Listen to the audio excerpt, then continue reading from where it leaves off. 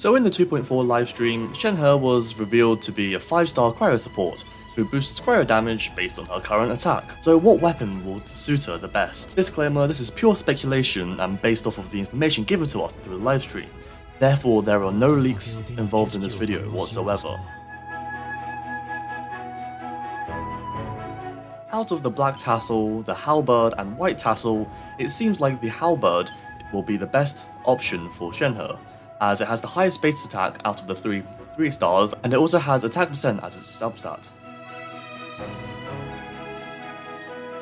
Now, there are quite a lot more 4 star weapons, and in order of highest to lowest base attack, we have the Dragon Spine Spear, Dragon's Bane, Deathmatch, Prototype Star Glitter, the Catch, Black Cliff Pole, Lithic Spear, Kitain Cross Spear, Favonius Lance, Crescent Pike, Royal Spear, and Wavebreaker's Fin. And out of the 12 weapons, only Lithic Spear, Royal Spear, and Wavebreaker's Fin have attack percent as its substat. Conveniently, these three uh, spears also have the highest base attack out of the 12, with Wavebreakers being the highest at 45 at level 1 and 620 at level 90. However, both Lithic and Wavebreakers only appeared on limited time banners, meaning free to players like myself probably don't have either of these two weapons. The only reason why I have for Wavebreaker's fins is because pulling for stuff from was so sad. This means the Timmy of all spears, as Jaehoon says, might actually be useful for Shenhe, and it is also relatively free to play, as it only costs Star Glitter. I would probably recommend getting the Royal Spear for Shenhe, but be careful. I think it might be good, so don't lynch me if it ends up being bad. Once again, wait a few days for reviews. In the case that Shenhe has a really high energy cost, giving her Favonius Lance may also be a good idea due to its base attack being the same as Lithic and Royal and also having energy recharge.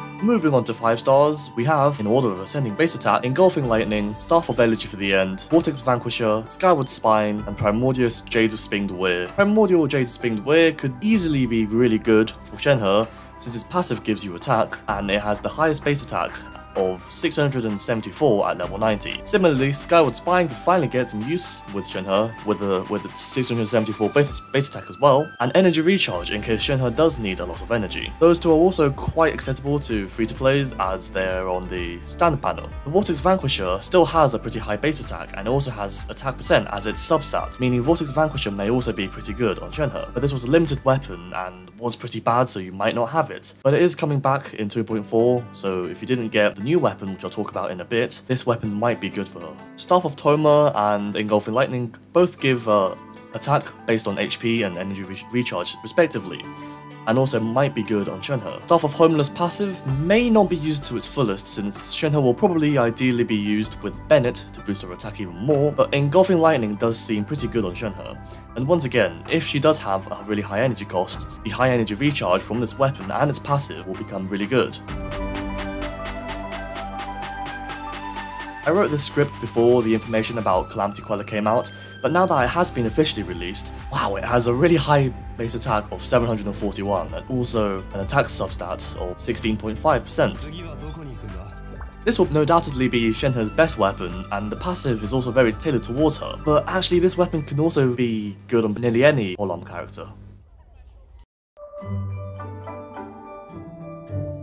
So in conclusion, basically, she wants high base attack. 4-star weapons generally have a higher base attack than 3-star weapons, and, and 5-star weapons over 4-star weapons. It seems like Shenhe will be good with any of the 5-star weapons, making the useless Skyward Spine maybe less useless. For 4 stars, Wavebreaker's Fin is the best weapon, but if you don't have that, perhaps the Royal Spear is good. And if you're broke beyond compare, Halberd is your go-to option. So that's the end of this video, like, sub, dislike, comment for the algorithm, subscribe to give me motivation to make more videos, thanks for watching, goodbye.